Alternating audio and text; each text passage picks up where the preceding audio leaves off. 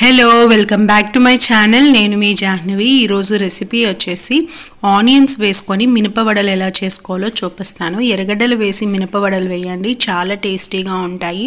Plain వడల కన్నా ఈ విధంగా వడలు వేసుకుంటే టేస్ట్ ఇంకా బాగుంటుంది. మా అమ్మ ఎలా చేస్తుందో చూపిస్తాను. గారెలు అస్సలు నూనె పిలిచవు. ఇలా గనక చేశారంటే చాలా సింపుల్ ప్రొసీజర్లో చిన్న చిన్న టిప్స్తో ఈజీగా ఎలా చేసుకోవాలో చూపిస్తాను. చూసేయండి. వీడియోని ఫస్ట్ నుంచి లాస్ట్ వరకు కంప్లీట్గా స్కిప్ చేయకుండా చూడండి. అప్పుడే క్లియర్గా అర్థమవుతుంది. ముందుగా మనం వడలు కాల్చుకోవాలనుకుంటే త్రీ అవర్స్ ముందు ఈ విధంగా మినపప్పుని నానబెట్టుకొని ఉంచుకోండి. నేను మూడు గ్లాసులు మినపప్పు తీసుకొని వాటర్ వేసుకొని అస్సలు వాష్ చేయకుండా వాటర్ యాడ్ చేసి అలా వదిలేశాను. ఈ విధంగా కనుక చేశారంటే మనకు పప్పు అనేది త్వరగా నానిపోతుంది. మినప్పప్పే కాదు ఎలాంటి పప్పులైనా బియ్యమైనా ఇడ్లీ బియ్యానికి నానపెట్టుకుంటాం కదా అవి కూడా వాష్ చేయకుండా వాటర్ పట్టాలా అలా పెట్టేశారంటే త్వరగా నానిపోతాయి. టూ టు త్రీ అవర్స్ బాగా నానిన తర్వాత మనం గ్రైండర్ వేసేసుకుందాము. ఎప్పుడైనా సరే మినపవడల్ని గ్రైండర్లో వేసి రుబ్బుకున్నారంటే ఆయిల్ పీల్చకుండా వదుగు కూడా ఎక్కువ అవుతుంది పిండి. గ్రైండర్ ఆన్ చేసుకొని మినపప్పునంతా యాడ్ చేయాలి. వాటర్ అస్సలు యాడ్ చేయకూడదు. వాటర్ యాడ్ చేశారంటే మనకు వడలు అనేటివి నూనె పీల్చేస్తాయి.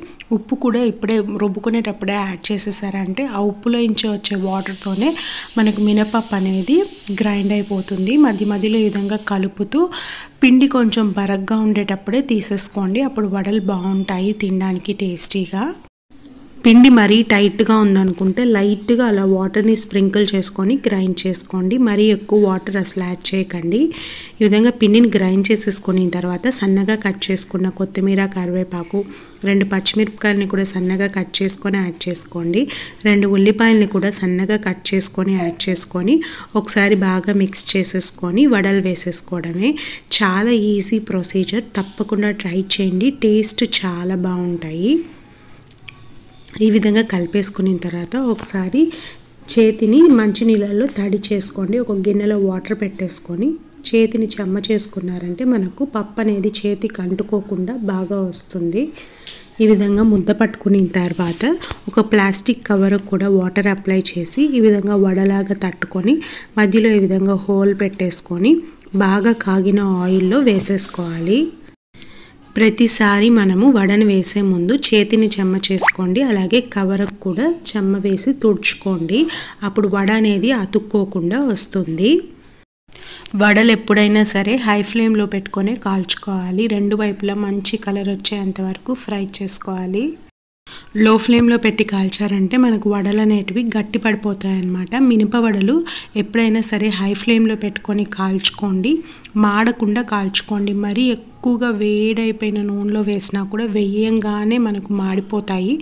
సో మనకు ఆయిల్ అనేది కరెక్ట్గా వేడై ఉండాలన్నమాట. ఈ విధంగా మంచి రంగు వచ్చేంత వరకు ఫ్రై చేసుకొని తీసేసుకోవడమే. ఇప్పుడు రెండో వాయి కూడా వేసేసుకొని సేమ్ ఇదే ప్రొసీజర్లో అన్ని వడల్ని వేసేసుకోవాలి. ఇది సాంబార్ అన్నంలోకైనా పచ్చడన్నంలోకైనా చికెన్ గ్రేవీ అయినా మటన్ గ్రేవీ అయినా లేదంటే ఈవినింగ్ టైం స్నాక్గా అయినా చాలా బాగుంటాయి ఈ వడలు. తప్పకుండా ట్రై చేయండి. మేము శనివారం రోజు చేసుకున్నాము. ఆ రోజు ఇంట్లో సాంబారు పుదీనా పచ్చడి ఇవన్నీ చేసుకున్నప్పుడు వడలు కాల్చుకున్నాము. చాలా టేస్టీగా ఉన్నాయి. వీడియో నచ్చితే లైక్ చేయండి షేర్ చేయండి ఛానల్ని సబ్స్క్రైబ్ చేసుకోండి. Thank you for watching.